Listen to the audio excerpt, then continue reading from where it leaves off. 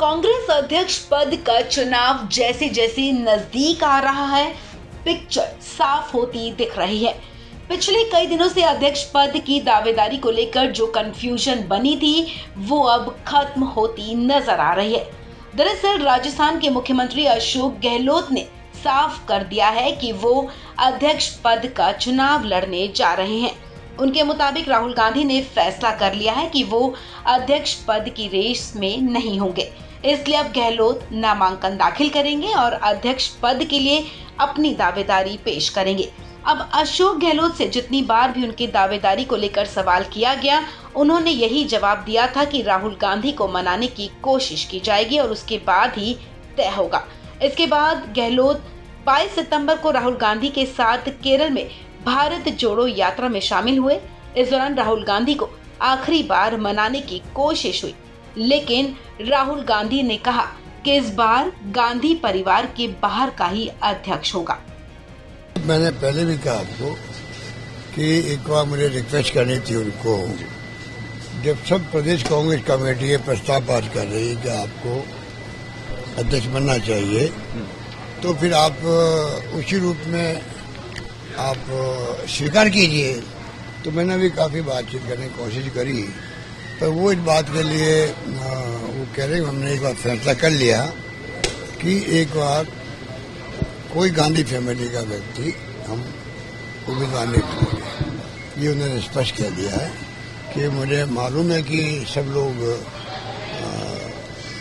चाहते भी हैं, पर मैं उनका सम्मान करता हूँ, उनकी बातों का। प्रदेश कांग्रेस कमेटी ने प्रस्ताव पास किया कार्यकर्ता चाहते हैं तो मेरे दिल में उनके प्रति सम्मान बहुत ज़्यादा है। पर एक बार हमने कुछ कारणों से तय कर लिया कि हम लोग इस बार नॉन गांधी फैमिली का कोई व्यक्ति सर क्यों इसके साथ ही गहलोत ने ये भी साफ़ कर दिया कि वो अध्यक्ष पद के लिए चुनाव लड़ेंगे और जल्द ही नामांकन दाखिल करने के लिए दिन तय करेंगे। गहलोत ने कहा कि देश के जो हालात हैं उसके लिए विपक्ष का मज़बूत होना बहुत ज़रूरी है। अशोक गहलोत ने चुनाव लड़ने के ऐलान के साथ ये भी साफ़ कर दिया कि वो राजस्थान सीएम का पद छोड़ने वाले हैं। डेट तो मैं फिक्स अब जाके करूँगा, पर मुझे ये तय है कि मुझे कंटेस्ट करना है। पर मैं देखता हूँ, ये पार्टी इनर डेमोक्रेसी की बात है। एक नई शुरुआत हम लोग करें सब मिलके। और मुझे उम्मीद है कि जो हालात देश के हैं, उसके लिए प्रतिपक्ष का मज़बूत होना बहुत ज़रूरी है। उसके लिए हम कोई कसर नहीं छोड़ेंगे।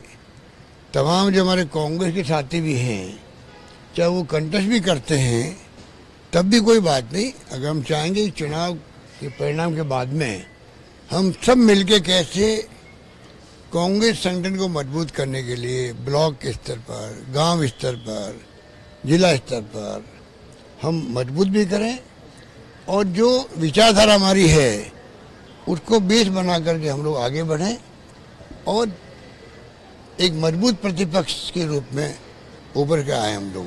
ये मेरा मानना इसके साथ ही एक सवाल होता है कि एक व्यक्ति एक पद जैसा आप भी कह चुके हैं राहुल जी भी कल संवाददाता सम्मेलन में कह रहे थे तो उसके बाद राजस्थान का सिरमौर किसके सिर? क्या आप किसी का नाम सुझाएँगे? विधायकों की राय ली जाएगी या किस तरह हाईकमान फैसला करेगा? देखिए तो मैं यहाँ कोची में खड़ा खड़ा तो नहीं कह सकता। हम्म। ये तो हमारे जो जनरल सेक्रेटरी इंचार्ज हैं मिस्टर अजय माकन वो और कांग्रेस प्रेसिडेंट सोनिया जी वो लोग फैसला करेंगे कि अब मान लीजिए मैं अध्यक्ष बन रहा हूँ तो क्या प्रक्रिया हो वहाँ पर? आ, कब हो प्रक्रिया? ये तमाम फैसले वो करेंगे। कुल मिलाकर अशोक गहलोत का कांग्रेस अध्यक्ष बनना तय माना जा रहा है। हालाँकि गहलोत के अलावा शशि थरूर, मनीष तिवारी और अन्य कुछ नेता भी दावेदारी की रेस में खड़े हैं। लेकिन गहलोत को ही सबसे बड़ा दावेदार माना जा रहा है। सूत्रों के मुताबिक 24 सितंबर को अशोक गहलोत अपना नामांकन दाखिल कर सकते हैं। वहीं गहलोत के चुनाव लड़ने के फैसले के साथ ही अब राजस्थान में गद्दी कौन संभालेगा, इसे लेकर भी चर्चा शुरू हो गई है। इस खबर में फ़िलहाल इतना ही। तमाम अपडेट्स के लिए आप बने रहें वन इंडिया हिंदी के साथ।